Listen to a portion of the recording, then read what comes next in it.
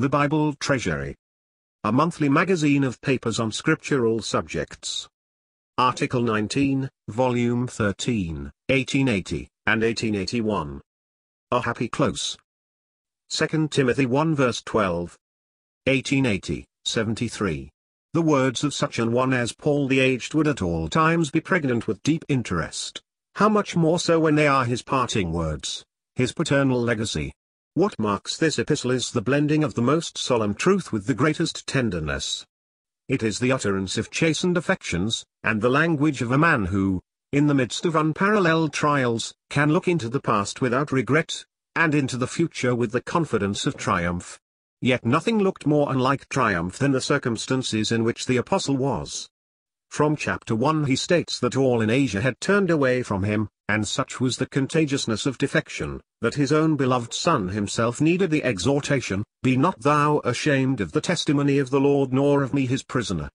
When we come to the last chapter, the sight is that of a battlefield, where, when the fight is over, a list is drawn, not alas, of wounded only, but of deserters as well, the commander himself heading the first class.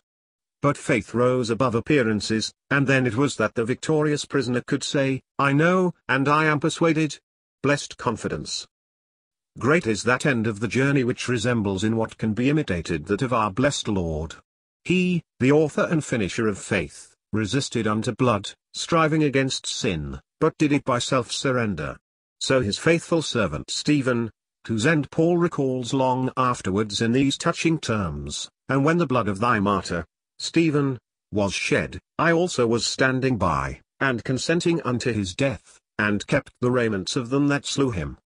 And so now the persecutor of that day, condemned and worsted in human eyes, can with inexpressible satisfaction say, I am now ready to be offered, and the time of my departure, release, is at hand. I have fought a good fight, I have finished my course, I have kept the faith, henceforth there is laid up for me a crown of righteousness, which the Lord, the righteous judge, shall give me at that day. Like his master. By weakness and defeat. He won the meed and crown. No end is more sweetly triumphant than this. He had fondly cherished it before, when he said, I count not my life dear unto myself so that I might finish my course with joy, and the ministry which I have received of the Lord Jesus. He was now being gratified in this respect. The few years that elapsed between his last interview with the elders of Ephesus, and his last defense before the Roman tribunal, had been, as he knew beforehand they would be, fraught with many a danger and sore temptation. Hence the charm, now that the last contest was over, of saying, I have finished. This means he was conscious of having left nothing undone, or half done, of his extensive service, that by me the preaching might be fully known, and that all the Gentiles might hear. Oh that each of our days went towards such an end! That we knew more of this holy and sober confidence as regards our feeble service.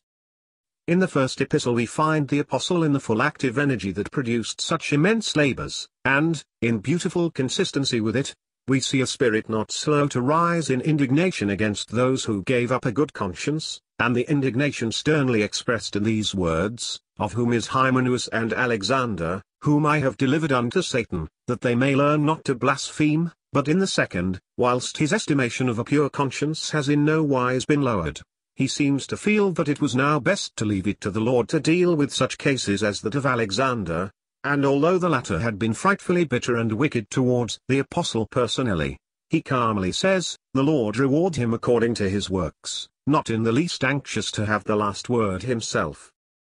Then, next, when he thinks how the ranks of his fellow soldiers had been thinned by desertion, he sorrowfully says, Only Luke is with me, instead of qualifying the conduct of the deserters by withering words as it deserved. Ho enters into the difficulty of standing the storm, and gently adds, that it may not be laid to their charge.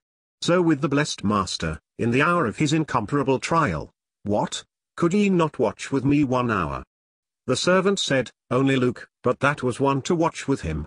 Whereas the yet more deeply tried Lord had none, no, not one. And, then, the gentleness of his rebuke. Sleep on now, and take rest. How true that in all things he must have the preeminence, even in sorrow, and in the patience that tribulation worketh. Yet it was the faithful apostle's lot to have, at this trying final moment, the precious words made good to him, the disciple is not above his master, nor the servant above his lord. It is enough for the disciple that he be as his master, and the servant as his lord, and thus the conformity is completed by linking together these two blessed utterances, Yet I am not alone, because the Father is with me, and, notwithstanding the Lord stood with me, and strengthened me. This much for his immediate circumstances. But the scripture heading this paper takes in a wider range yet, it was not merely in the face of death that he could say, I know, I am persuaded, but in the face of rapid declension in the church, which would culminate in nothing less than the awful picture so faithfully drawn in 2 Timothy 3 verses 1 to 5. And why not?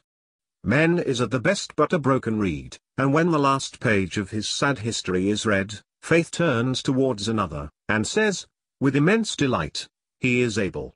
Steadfast peace and perfect confidence are thus maintained, the clouds not allowed to weigh the spirit down, nor to dim the light of his blessed countenance. We are so foolish, and so forgetful of our good-for-nothingness, that we often need trials, in the shape of disappointments, to cast us more absolutely upon the Lord. Were our faith stronger, the trials would not take this shape. With Paul it never came to that he was given to witness that which was most painful, and to predict that which was most terrible. Yet the peace of his spirit and the confidence of his heart remained unmoved, undisturbed. He knew whom he had believed. The abstract way in which he speaks of the Lord is very telling. It is the peculiar feature of John, and the way of one who is so engrossed with his person, that he cares for naught beside. Whom and him convey the thought of profound, yet holy, intimacy. It was not only, I apprehend, with regard to his own individual safety that he said, I know, and am persuaded. We may fairly conclude that the deposit alluded to in this verse is more than himself. The very manner of his conversion had taught him Christ's estimate of and love for the church. Why persecutest thou me? And ever afterwards was this the prominent feature of his own character. It was by this standard that he measured his former life and path. To him, there was nothing so humblingly bad as that he had persecuted the Church of God. How these words tell of the intense love he now bore it, of the beauty and excellency he now saw in it, when looking upon it with the eye of Christ. Oh, for more of a kindred feeling in us. We need it pressingly. Much of our dryness and narrowness is due to the lack of it. We need not fear lest this feeling should produce indifference to the evil of the Church. Is Christ indifferent to it? Nor shall we be, but tenderness will cause us to make more frequent use of the basin and towel, and more infrequent use of the stone and of the sword. We shall not lose thereby. I cherish the thought that this deposit comprised the church which, next to Christ, Paul loved most. When he had committed it to the care of its nourisher and cherisher, he could calmly speak of the worst times, saddest departure, and darkest evil, as powerless to sever it from the diligent care and beyond this present dark and evil day, there is a day mentioned, that day, when all will look different from now. That day. How suggestive. It needs no other qualification. It stands alone in the estimate of Christ, as his hour stood alone in the estimate of God, this for suffering, that for joy. It is the time when he will present it to himself a glorious church, not having spot, or wrinkle, or any such thing, the spots and wrinkles tell of failures and cares with which we are sorrowfully acquainted. Do you want comfort in the midst of this heartbreaking scene? Think of that day. Our apostle thought of it, as well as of the present faithfulness of God's grace, and the sufficiency of his word, when he spoke to his beloved Ephesians, even then yet so fresh in their first love, the words of Acts 20 verses 20 and 30. Wolves and perverse men might, and would, make it fearful havoc in that best and most fertile of the apostles' fields, where a labor of three years and a half, night and day, with tears, had produced such an abundant harvest, and in the field would grow tares, in the shape of giving heed to fables and endless genealogies, which minister questions rather than godly edifying which is in faith. But, notwithstanding all, he who knows the love of Christ to the church does not faint, because he can reckon upon Christ being fully gratified in that day. And if he, surely we also. Faith never surrenders anything to man and his unfaithfulness, and when God prepares it by his word for dark shadows and blighting winds, it refuses to stop therein and passes right beyond, where Christ is seen, unchanged and unchangeable, and where the church stands as closely connected to him and as cherished by him as ever. May our hearts be more filled with this enlarging love. And while we grieve and sorrow over our own faults and the faults of all, let us remember that God has not given us the spirit of cowardice, but of power, and of love, and of a sound mind. See